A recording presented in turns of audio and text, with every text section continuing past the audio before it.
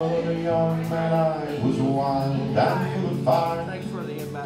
thank you. Within my teens, yet full of challenge and desire. Uh, Ran away from home and left my mother and my dad. I know the breathing so think their own before it's bad. Tell them well the outlaw band, their names were known quite well. Many times we rocked and plundered, I could never tell. This kind of sinful living leads only to a fall. I found that much in the morning, the night I heard my master call. One night we rustled cattle, a thousand head or so. Started them off on the trail that leads to Mexico. Blowing, and lightning flashed about. I thought someone was calling me, I thought I heard a shout. Then at that moment, lightning struck not twenty yards from me. And left there was a giant cross where once there was a tree.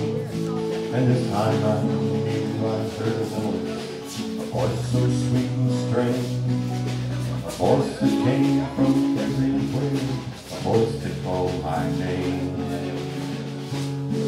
So frightened I was thinking, the sinful deeds I'd done. I failed to see the thousand head of cattle start to run. The cattle they stampeding were running all around. My pony ran a stumble and it threw me to the ground. I felt the end was near, that death would be the price. When another bolt of lightning showed the face of Jesus Christ. And I cried, oh Lord, forgive me, don't let it happen now. I want to live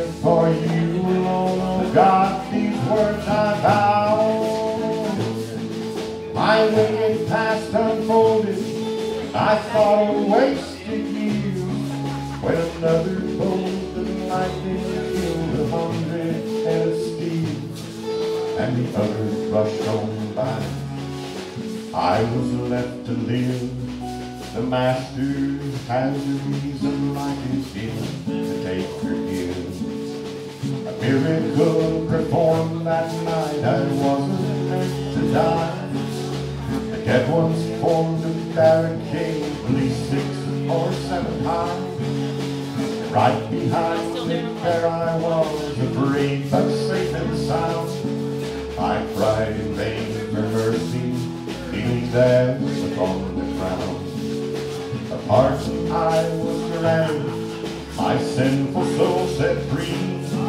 No more to fear the angry waves upon life's stormy sea. Forgiven by the love of God, love that will remain. I learned that much and more tonight. The Savior called my name.